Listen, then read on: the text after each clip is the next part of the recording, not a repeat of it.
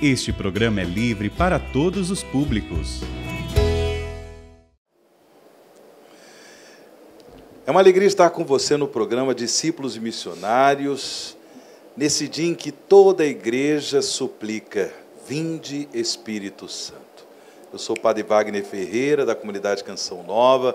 Tenho a satisfação de estar com você nesse nosso programa. Bem, hoje é dia de Pentecostes, 28 de maio desse ano 2023, e por isso vamos abrir o nosso coração para que Deus renove em nós o dom do seu Espírito e que essa renovação espiritual seja para toda a igreja, para toda a humanidade, porque o Espírito renova a face da terra. O Catecismo da Igreja Católica ele nos recorda no número 2623 que no dia de Pentecostes o espírito da promessa foi derramado sobre os discípulos, reunidos no mesmo lugar.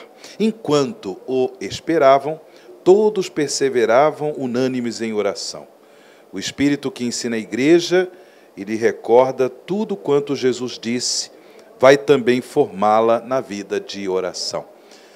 Para conversar conosco sobre esta linda solenidade da igreja Pentecostes, contamos com a grata presença de Dom Odilo Pedro Scherer, arcebispo de São Paulo. Dom Odilo, bom domingo para o senhor, seja bem-vindo ao programa Discípulos e Missionários.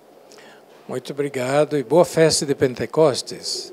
E a vocês todos que nos acompanham em nosso programa semanal, bem-vindos e bom programa, boa festa de Pentecostes para vocês também. Dilo, Pentecostes também marca é, do ponto de vista litúrgico, o encerramento deste tempo litúrgico de Páscoa. Qual é essa relação que há entre Pentecostes e Páscoa, Dom Dilo? Podemos dizer que Pentecostes, que lembra a efusão do Espírito Santo sobre os apóstolos, é, celebra liturgicamente aquilo que é o fruto da redenção certo. que é o dom do Espírito Santo. Uhum. O Espírito de santificação, o Espírito da filiação divina, que é a nossa redenção. É, o Espírito Santo, portanto, dado por Jesus ressuscitado, segundo o Evangelho de São João, já no dia da ressurreição. Sim. E segundo os evangelhos sinóticos e os Atos dos Apóstolos, dado aos apóstolos e à igreja 50 dias após a ressurreição. Essa questão do tempo não vem claro. a fazer diferença, porque isto entra no contexto dos simbolismos, dos tempos. Né? Perfeito. O número 3, o número 50, o número 40, são números que têm muito é, simbolismo e colocam o início do Novo Testamento em paralelo com o Antigo Testamento. Mas, de toda maneira, para responder a sua pergunta, é, Pentecostes marca a conclusão do tempo pascal, mas também marca o maior fruto da redenção, uhum. da ressurreição, sobretudo. Jesus ressuscitado confere, doa o Espírito Santo uhum. aos homens, à humanidade, à igreja. Dom Dilo, é, as pessoas às vezes se perguntam assim: bem, eu recebi o Espírito Santo no sacramento do batismo, é, a confirmação dos dons do Espírito Santo com o Santo Crisma. Por que rezarmos suplicando todos os dias, por exemplo, vinde Espírito Santo? Tem sentido, já que ele já está presente no nosso coração? Tem sentido. É, não porque o Espírito Santo de repente se distraiu ou deu uma escapadinha. Não, ele está conosco, está sempre conosco. Uhum. É o que Jesus prometeu enviar o Espírito para que esteja sempre conosco.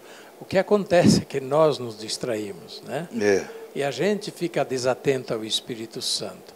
Então, rezando assim, é, nós nos colocamos em sintonia com o Espírito Santo para ouvir, para discernir, para acolher constantemente as suas é, inspirações, as suas orientações.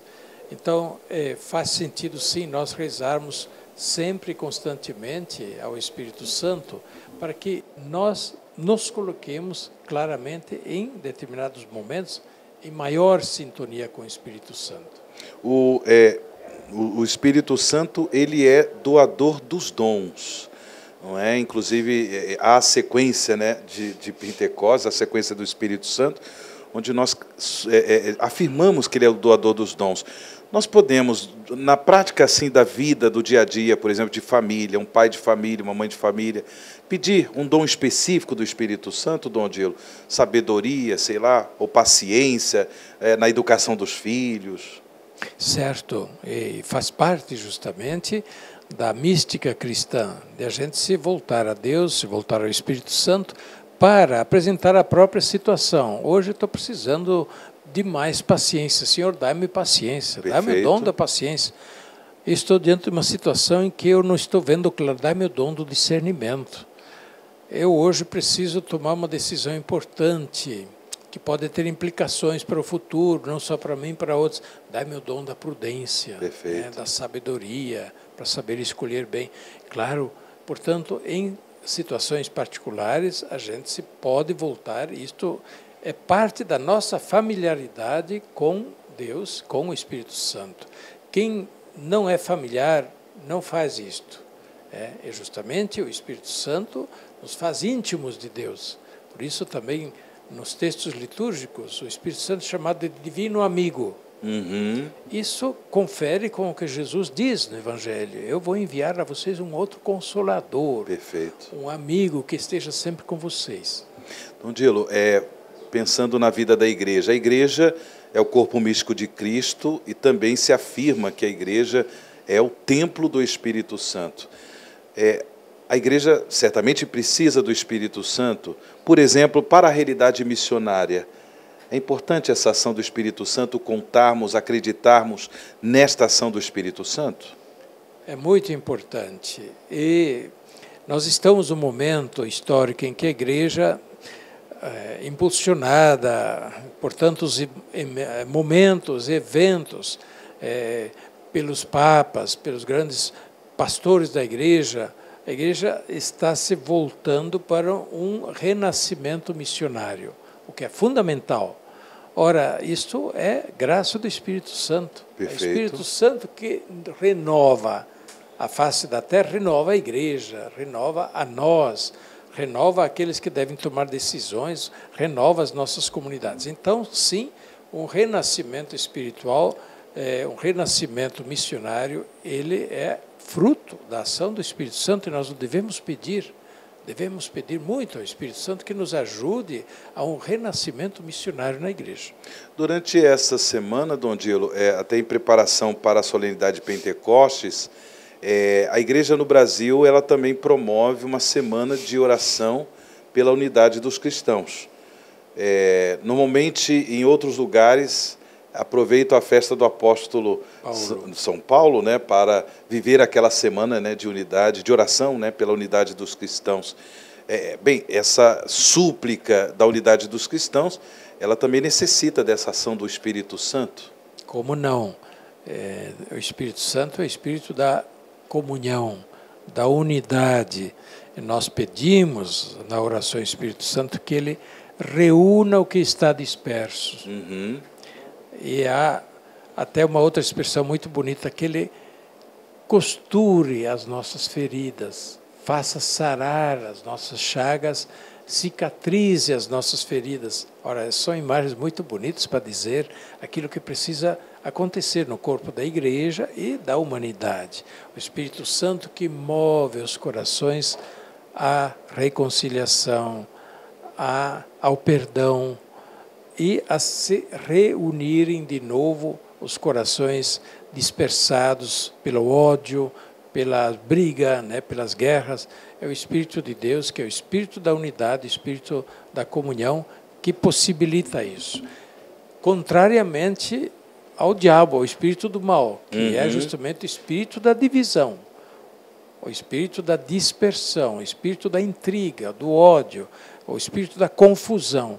Então, cuidado, né? se a gente estiver no meio né, de, de, de, intriga, de confusão, de ódio, de, de briga, isso não vem do Espírito Santo, tenha certeza.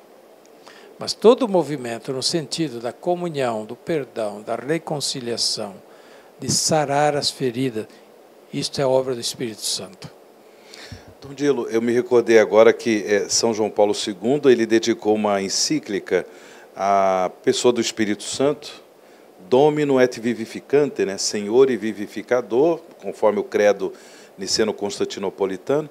E ali é, interessante que ele faz uma reflexão partindo do Evangelho de São João, quando fala do Espírito Santo como Paráclito, mas aquele que também, de alguma forma, recorda o mistério do pecado aos nossos corações. Como seria isso, Dom Adilo? Olha, é, isso tem, é, tem tudo a ver, sim, porque o Espírito Santo é, é luz. O Espírito Santo ilumina Perfeito. as trevas, uhum. ilumina os lugares escondidos, ocultos, se nós deixamos que ele ilumine, se acolhemos o Espírito Santo em nós. E quando nós abrimos ao Espírito Santo, aparecem as nossas manchas, os nossos pecados, as nossas inconsistências, incongruências em relação àquilo que é de Deus, o que é próprio da nossa relação com Deus, nossa amizade com Deus, o nosso pecado. Então, o Espírito Santo, sim, é, é o que Jesus também diz, ele vos convencerá do pecado. A, a respeito da justiça e do pecado, é. a respeito do que é bom, do que é santo, a justiça e do pecado, aquilo que é contra Deus. Bem, o programa Discípulos e Missionários, ele pode também ser é, visto através do canal que a Canção Nova tem no YouTube. Basta acessar youtube.com.br Play Canção Nova, youtube.com.br Play Canção Nova. Ali, programa Discípulos e Missionários tem com é, diversos temas. Basta você procurar, tá bom? Mas ao mesmo tempo, é, nós pedimos que você possa é, compartilhar o nosso programa Discípulos e Missionários em suas redes sociais. Fale também para os seus amigos. Um programa assim tão instrutivo como esse, tão formativo como esse, certamente outras pessoas, irmãos de comunidade, devem né, ter esse conteúdo, devem tomar conhecimento desse conteúdo. Tá certo? Bem, Dom Dilo, nós estamos chegando ao final do programa, discípulos e missionários, nesta solenidade de Pentecostes, portanto, a sua palavra para o nosso encerramento e sua bênção, por gentileza. Muito bom, obrigado. Obrigado a vocês que nos acompanharam hoje. Desejo uma ótima festa de Pentecostes. Eu posso sugerir alguma coisa para vocês como dever de casa? Pegue o catecismo da Igreja Católica. Pegue aquela parte do Creio em Deus Pai, onde se diz creio no Espírito Santo. Leia lá sobre creio no Espírito Santo. O que significa isso? Quem é o Espírito Santo? Qual é a ação do Espírito Santo e a nossa correspondência ao Espírito Santo? Vai ser muito bom para viver esta semana de Pentecostes. Que Deus abençoe vocês, suas famílias, todos os doentes, as pessoas que nos assistem. A bênção de Deus Todo-Poderoso, Pai, Filho e Espírito Santo, desça sobre vós e permaneça para sempre. Amém. Amém.